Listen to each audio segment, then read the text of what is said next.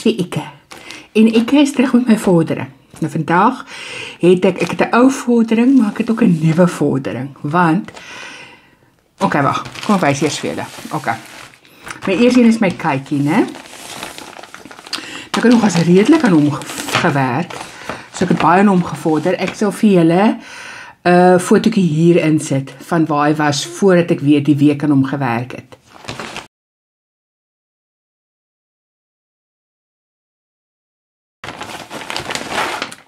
Dan hierso is soos wat hy nou lyk.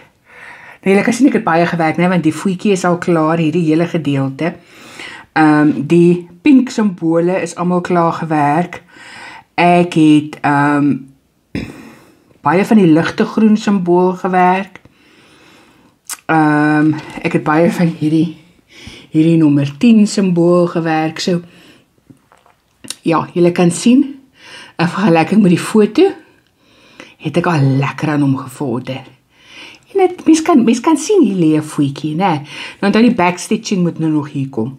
Maar ja, ek het baie baie steke aan hom gedoen. OK, so hy behoort in 'n van die tyd. Maar toe het ek ek kan nie onthou of julle al hierdie kruisesteek gesien het.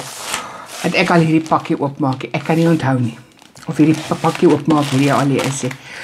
Maar ek het aan hierdie kruisesteek begin werk. Nou ek het hierso al hierdie gedoen. Hier tussenin is nog so 'n paar oop steekies, maar die meeste is gedoen en dan het ek hier hieronder ook gedoen.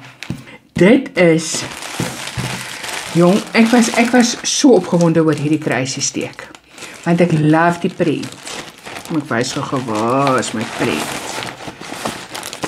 Ek is regtig nie seker of ons al hierdie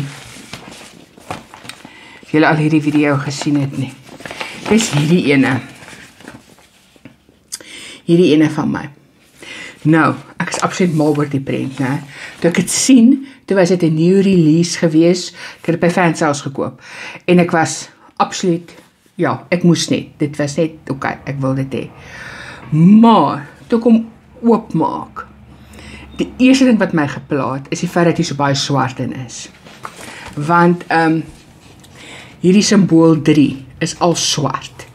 So soos wat julle hier kan sien, hierdie is als swart. Nou dit is dis daai gedeelte. Né? En as jy sien het ek hier so al met die met die dakkie begin, sien julle en daai pilaar en die liggie en ja, so ehm um, die swart het my gepla. Dit is hoekom ek besluit het ek wil hier aan begin werk want ek wil sien hoe dit lyk. Ehm um, op hierdie stadium lyk dit nie vir my sleg nie. Ehm um, hier's baie kleure in hierdie gedeelte. Die dakkie, né, het baie verskillende kleure in, maar ek dink dit is wat daai detail gee. Verstaan julle? Ehm um, so ek het ek het nog nie 'n mening nie. Ehm um, ek gaan nog nie sê ja of nee nie. Dit is 'n baie groot canvas. Julle kan sien, hier's baie swart in en dit staan hier onder ook. Dit is wat besluit ek ook kan neem. Ek moet hier aan begin werk. Ek moet ek wil sien want ek hou van die prent, maar ek wil eers sien hoe dit gaan lyk. Al kan ek net hierdie raam eers klaar werk. Dat ek kan sien of dit die moeite werd is. Want hy werk baie lekker. En weer eens, ek het baie aan hom gewerk. Hierdie hele stuk swart.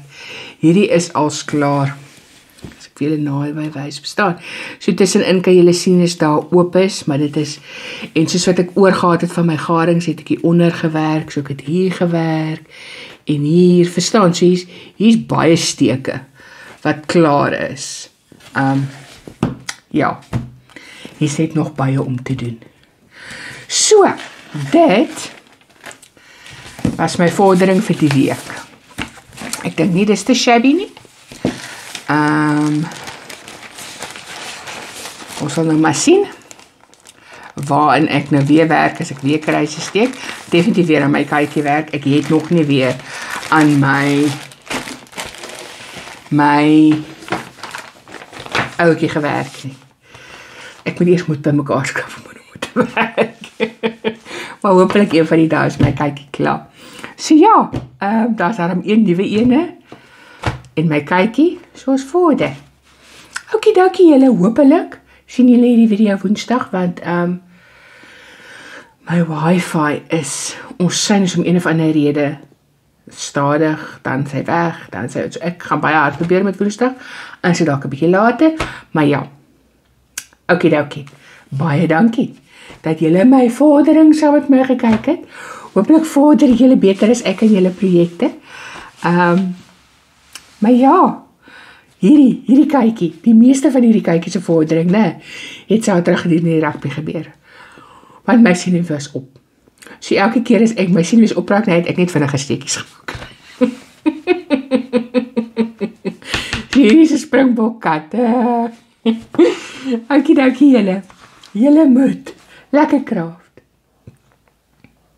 En lekker daad. En lekker kruisie steek. En dan sien ek julle in die volgende video. Bye bye.